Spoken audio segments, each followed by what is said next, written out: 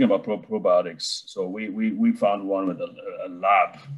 They, they don't even sell to the public. So fortunately, we were, we to register with them, and they have the 12 strains plus, and then they got this 50, 50 billion CFUs.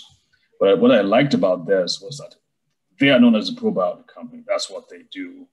And then, so their probiotics also are formulated in a way that they um, they, they, they, survive the, the, that treacherous journey from the mouth to the, the large intestine, but also they also have able to attach to the walls of the large intestine and reproduce and multiply, which is something most of the probiotics cannot do. They, they just they, they don't come with that ability to latch onto the wall, which is a very important thing as well.